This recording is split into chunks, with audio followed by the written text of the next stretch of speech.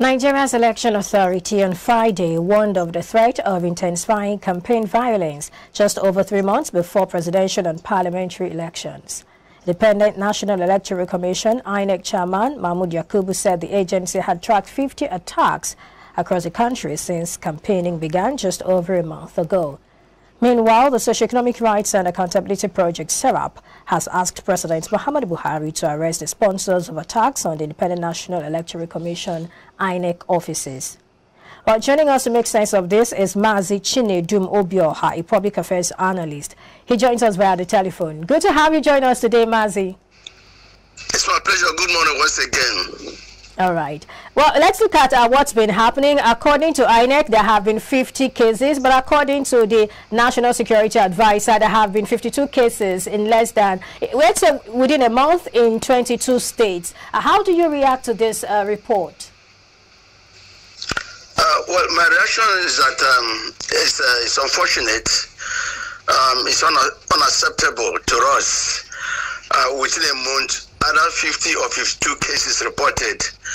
Um, it, that leaves much to be desired. Uh, we, we least expected this. We thought by now that uh, we should have been having a free flow campaign. Um, unfortunately, INEC offices are being attacked here and there. So the government should wake up. It's very, unfortunate. We don't expect it. Okay. Still talking about the attacks on INEC offices. Uh, the question would be, is this a terrorist action or separationist action or is it political? What exactly is this about? Well, to me, I will narrow it to one area. That is political um, attacks, not uh, terrorism, not uh, whatever you call it. Okay. Uh, it is within the uh, political um, class that um, perpetrating these attacks, maybe trying to frustrate the effort of INEC or try to over um, outsmart the other political parties. So uh, let, let us leave um, uh, the terrorists or any other either uh, non-government or what have you. Um, before anything happens, there must be a root. Foundation is key. So let us narrow it and talk to political parties. We have read time and again where uh, even the politicians, uh, political parties uh, are not allowed to even campaign um, in some areas. Uh, we read that about uh, when uh, in uh, Ebo State where the governor specifically signed that the, that a particular party, political party should not um, be given um, space or are allowed to do their political rally in a particular areas. We have read that even in Edo, we have read that in uh, Kaduna, things like that. So it gives me concern. It's worrisome that we're experiencing it now, while the, the, the campaign has not even heated up. So which means it goes to say that between December, January, uh, we're going to see a lot of problems in this country occasioned by the politicians themselves. Now, now okay. you just okay. Go ahead, Mazi. If you say um, the political class are the ones behind um, some of these, you know, um, violent incidents across the nation pre-election, um, how about the attacks on INEC offices? We we had, you know, one in Osun State, another one in Ogun State, with over six hundred thousand, you know, um, sixty-five thousand rather PVCs being destroyed in the process. Is that also the political class, considering the need you know, the voters and these PVCs to be able to win at the polls? Yeah, I, am very careful in choosing my words. Okay. Uh, that of, that of um, I think uh, it's not sure where 65,000 yes. uh, I know Grazwell. Um, uh, yes, uh, were destroyed or stolen or whatever. Uh, the government in place should be able to fish out the, those that are behind this Okay. Uh, don't, don't, forget that some of some of these things are done at the detriment of other people. I, I don't want to go um, far. I mean, I don't want to go beyond my my, my thinking, uh, because if you go now to investigate who are those PVCs, who who have them, whose names are there we read some other, some other places that there are some certain regions, yeah. names from certain regions that they don't want them to get their PVC because of a particular interest. Okay. So the government should fish out the those who are perpetrating these evils. Now, I, I make bold to say that, look, they know those who are behind this. Okay. Eh, if about 65,000 PVC were destroyed. destroyed or stolen, why should I, I think INEC said that they, they, they keep their sensitive material with central bank. Mm-hmm. Their central bank in Osun State. Uh, beyond that, they can make arrangement with uh, commercial banks uh, and let them put, I mean, uh, deposit these things in the in the in the, their votes. Then again, why should they keep this? Why can't they use the method being used in the north by distributing this PVC on arrival through the the, the, the worship centers, through the market, through the lo- I mean the the urbans and the MS. I think that will go a long way to solving these problems. Why should unfortunately, but you can't blame INEC because who knows when they got the the, the, the got delivery of these uh, PVCs. Yes. And we will not be able to keep it in their own but pending the time they will distribute it. Government should go investigate, they should put down their eyes on the ground. Let, let me come in here, Mazi. Mazi, let me come in here. Uh, um, while you were speaking, I was just thinking of intelligence. What has happened to intelligence gathering? I mean, for that to have happened, that means some persons had information that these cards were available, and then they, they attacked. What, what's happening to our security apparatus? That's what I'm saying. That's why I said the government should fish them out. You talk about intelligence gathering. Where were they? And we have had some uh, um, reports that even when uh, the intelligence, I mean, people, security uh, people give such uh, uh, information, the government are not proactive. They don't act on intelligence being given. So there are people, there are informants who now that you see before before something happens in the house, the rat inside gives information to the rat outside. The rat outside cannot have access direct to your house unless he's invited by the rat inside. So what I'm trying to say is that there are informants in the INEC office. That's why they will say government should fish. The INEC should look inward, purge themselves of bad and the uh, uh, bad eggs. There are bad eggs in INEC office that gives information. If something happens in your studio, there must be an insider. If something is stolen from your house, there must be a member of household that gives information. An outsider will not know where you keep your money in your drawers. So that's what we're talking about. Information is key. The INEC offices should be able to be proactive, listen to themselves, talk to themselves, and they make sure that they have intelligent gathering. Let them be proactive to Okay. know where the, this is the period of election, right. and they know that and large some of these things will happen. They should be pro, uh, they should be very very proactive and they protect the, um, the um, PVCs because without the PVC you can't go out a vote. All right, L- let me come in here. Serap has actually asked uh, the president, or let's say the federal government, to, you know, uh, get these perpetrators, name them, and uh, shape them. Are you confident in the federal government's ability to do this within the shortest period of time, seeing that, I mean, we're pressed for time? Your guess is as good as mine. The, the federal government will not be able to do that. Do you know why? They are not proactive. Even if they're able to fish out those, they, there could be those connected to the government, to the authorities, untouchables. If it were in advanced countries, you can that cannot happen. If it does happen, they must be tracked down. But in Nigeria, talk is cheap they will say we will investigate. That will be the end of it. So my answer to your question that within the time limit even within the antecedents of the federal government they might not be able to do anything. But you see the, the, the, if it goes to the police the police will say we are investigating. Investigation that has no end that has a beginning but doesn't have any end. That is the situation we are found in nigeria. That is what is happening. The federal government will tell you they are investigating not investigating Okay, Martin, let me come in here. Don't you think we should not be able start? Don't you think we should start asking questions about some of these investigations that have a beginning but seem to not have an end? What should be done? Do we need, you know, a citizen movement or something to ensure that government does, not just say they are doing this and at the end of the day we're not saying anything? What can be done to it to put a stop to this, really? there there must be political will to make investigation. There must be political will to punish whosoever is at fault.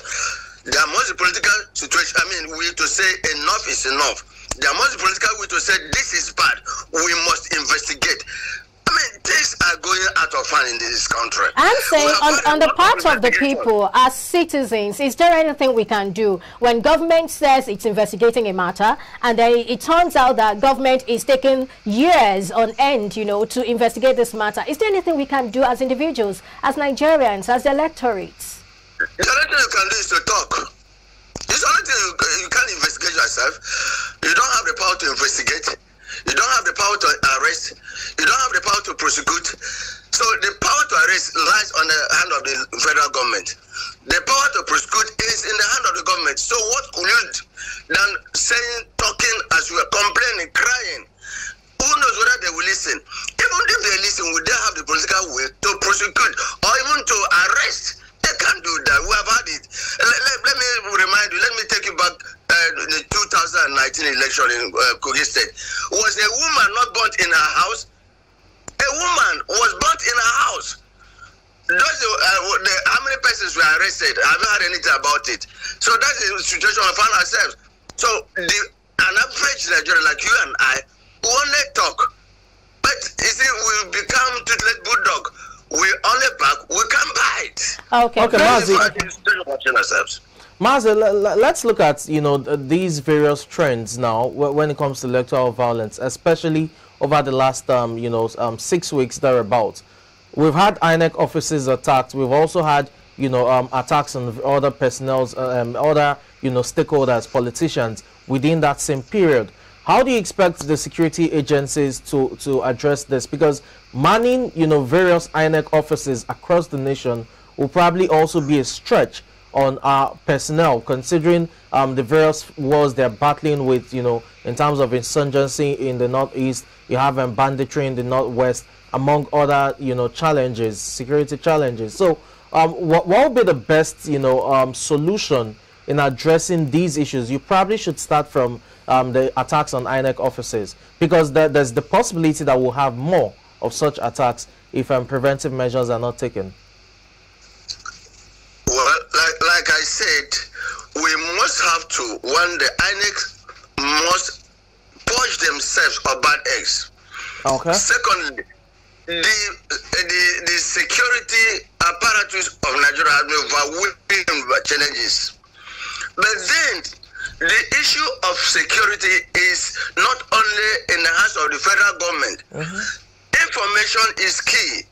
When you and I suspect any, I mean, uh, foul play or any bad movement, we'll be able to report. But even if after reporting, who takes responsibility? Okay. Who takes the responsibility? So the government has a lot of work to do. There are attacks on the INEC um, uh, offices, Offices, yeah. in, individuals, even the politicians themselves. This is time they will outsmart each other. This is time we, they will try to even kill each other. We have had this severally, even before before before uh, um, uh, the 20 um, for the 15 14, election. yeah. We have had Future William killed, yeah. We have had other is Bolaji was killed, Yes. and so many other people. So the government should be able to have political will to investigate, arrest, prosecute, and jail. But unfortunately, what you will see that when they say they have arre- they, they are investigating, we don't see the end. It's war without end. That, that, that's in the probably because the case went cold. Um, not all cases investigated will bring about who leads. Will, who, who will facilitate it? Who will fa- um, uh, fast forward it? Isn't not federal government? Yes, but even, security? even in Western climes, we, we see these things happen wherein a case just leads to a dead end and, you know, it, go, it goes cold over time as a result of, you know, not having um, sufficient evidence or even um, reasonable leads. I quite understand your position, but if that's the case, there's really little the federal government can do in terms of political will to see off these cases if they grow cold over time. Yes, I agree with you. Much as you have agreed with me. Yep. The issue is that we have a system that is not working. Okay? The leaders or the rulers, as I call them, are those elected or appointed not to serve the masses, but to protect their own interests. If you have people who understood the meaning of leadership as a service, okay. they'll be able to give out their best for the people they, that have elected them. But here in Nigeria, it is not the same. So the federal government, much as they are overwhelmed with challenges, then those saddled with the responsibility of this thing should be upright. Okay. I mean, upright, be sincere. When they say it is yes, it is yes. Okay. I want to tell you how many Boko Harams, the Boko Harams arrested some of them were arrested even before Jonathan came on board. Yep. Were they not the same people that were, I mean, um, kept at Kuje prison? Were they not, even when there was information that Kuje prison would be attacked, did they do anything?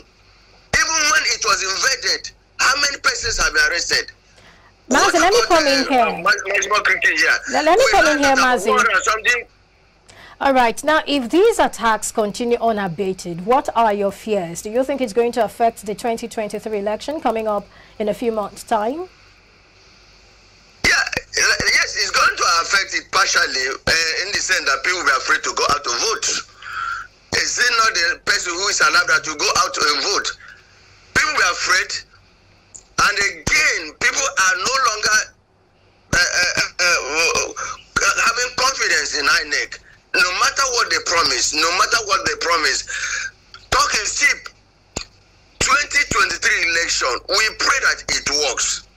With the rate of insecurities, with the rate of what we are reading on newspapers and the social medias, there is fear on the land. But my prayer is this: the federal government will beat up. We now uh, stand up and say we must achieve this. Even look at. Uh, uh, Lagos Expressway is no longer safe for people to travel. Even Ore, Benin Road is no longer safe. You talk about Kaduna Abuja Road, it's no longer safe. You talk about Lokoja Kogi Road, it's no longer safe. Insecurity everywhere. People will be conscious. Even that day, there'll be threats here and there. And these politicians are not helping matters. Look at how they are going about with their, their political campaigns, attacking personalities instead of them to tell the public what they will do. It's either this one does this, this one does this, leaving the uh, object and be chasing the shadow. Is it what is saved Nigeria? The answer to your question is that it might affect the 2023 election because people will be scared to go out to vote. That's the issue. That's the truth about it. Well, that those will tell you that in 2015, even at the height of Boko Haram insurgency in the northeast, elections took place even in that part of the nation. So, um, quite all right, for all of the security challenges, um, do, do, you think that it will prevent the elections from holding, or what you would have is apathy, you know, among the electorates in that sense, because there will be fears of going out and, you know, the security um, challenges within the neighborhood. But I, I, don't think the polls, you know, would um, be moved or won't take place. What's your thought? Yeah, use the word voters apathy. Yep. You mentioned Borno, you mentioned Yobe. I was in one of your sister studios when this issue came up. Mm-hmm. And I also knew the then governor of Yobe State said he cannot guarantee election, free election, security wise in Yobe State. But you see, when the results started coming out, we rec- Yobe State recorded the highest numbers one point something million. And you begin to ask yourself when did they go out to vote?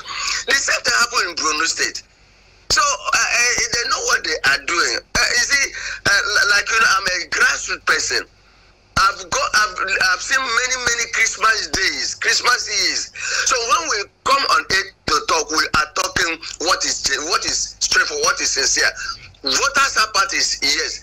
But then let us believe that INEC will make use of the beavers as claimed or as promised us so that some of all these irregularities will be checked but remember they have told us there will be no incident forms there will be no manual um, accreditation yes. but let us see it work because don't forget that there, uh, before the passage of this uh, electoral act mm -hmm. there were so many front and back Yes. And they were saying that uh, a network is uh, is not um, constant um, or regular or effective in some part of the north. So uh, I, I, don't know what will be the action, um, I mean, the effect of those people there. But what I know is that there could be voters apathy. Even in the southeast, here in the west we are. Have you not been hearing that some talks in Lagos don't allow some political parties have their rally? Don't allow them have their billboard you have not had it. Yeah. Don't allow some section of people to to I mean to uh, I mean uh, uh, Mazi, now that you're talking about this, isn't it worrisome that the crop of politicians we have are, are, people who cannot even tolerate the fact that they have you know opposition parties who are also contesting the same positions with them? That's the, that's the, that's the answer. You said it all. These are people who let me use the word deadly desperate, deadly desperate for power. Deadly, excuse me, there are some people, some uh, uh, uh, political parties, some politicians that are deadly desperate that they must click to the power. They must get it by all means, by by other crook or ways. So that is dangerous. It's not the the the, the uh, democracy we made in 50s it's not the democracy we made, even after independence. It's not the democracy we even before before uh, during the two, um, 1999 or from 1999 to 2003, 2007, 2000, and uh, it wasn't. Like, it has become more deadly. People are more desperate because of the center, because there are a lot of meat, there are a lot of food at the center. That is why everybody wants to. That is why politicians they don't be, they don't bother about you. They don't care about you. So it, it, it is going to be very dicey. That's my, my, my statement. It's going to be very worrisome. It's already worrisome. It is uh, people are asking questions. Why must somebody be deadly desperate in ruling this country? It's, you are, must have allow your people to elect you or to choose you. Let me tell you, we have um, uh, election to elect a new general overseer, as we call it, general superintendent in my church, starting from tomorrow. We have started praying that God should choose, not we choosing. But what we see in Nigeria is that we relegated God and we now use ourselves to force ourselves. Look at what happened during the during the primaries. You know how much dollars they, that, that they, they spent. Each uh, president candidate spent how many? I mean, you know how much they spend. The weight dollar, there was nothing like um, naira. There are dollars. Desperation for you to be elected as a presidential candidate, okay. let alone when it comes. So it's, it's worrisome. Okay. Nigeria is bad, honestly. Okay, Mazi, in, in wrapping up this conversation, um, what will be your um, you know presumption going into the polls now? And I'm asking because um, if we have security challenges all over across the nation and concerning the elections as well, we have electoral violence on candidates, on you know INEC offices and what have you. Um, wh what's your total view of it in line with the elections itself? Um, in terms of solutions, how you know security um, troops you know can be deployed to um, the streets to ensure it's safe. You know, what's your total view about it, really? My, my, my view and my, my thinking is um, that the, our security should be um, up and doing. Okay. The prison has the president has uh, assured us that he's going to leave a good legacy for us. He has assured us even United Nations, he has said it, mm-hmm. and they should be allowed to do what they are supposed to do. Okay. Then the politicians themselves should know that it's not a do or die affair. Uh, it's nobody's turn. It's nobody's right. It is our turn. It's our right to elect who will become either the governor who become other senator, who become other House of uh, Assembly member, or who become a presidential uh, uh, person in this country. Not you, it's we. And I, that's why most of them, I call them uh, uh, rulers. They rule over us. They didn't lead us. Uh, because you see them, it's I, I. You see, I even use I to express something. It is too bossy. A leader doesn't say I. A leader say we. But a boss say I. Authority. They've forgotten that authority power belongs to God. But in this uh, this time around, they have decided to relegate God aside to impose themselves. My view is that one, the politicians should know that it's a game that must be lost and won. They must understand that it's not do or die affairs. Okay. They must allow a level playing ground for people to come out. The security should be up, uh, up and doing. They should wake up. Not when they see crime being uh, perpetrated, they look the other side. Like when they, we saw what happened during the Osho election, when the money was exchanging hand, the, the, the EFCC were there, the police were there, they were looking the other side. Is that supposed to be so? And in terms of security, please, we need to be alive to see our next president. Our life should be protected. Our property should be protected. Everybody should go out and get his or her PVC. And when he gets it, he should go out without okay. any molestation, without right. any fear of favor. When you go out and cast a vote, you come back and let our vote count by the grace of God. All right. Thank, Thank you, you so much, Mazi. I think this is a good place to end the conversation. Thanks for sharing your thoughts and for the insights you have shared on the show. It's my pleasure once again. Thank you for having me. All right. Okay, iBrand moment continue. iBrand Daybreak, I beg your pardon, continues in a moment. Please just stay with us.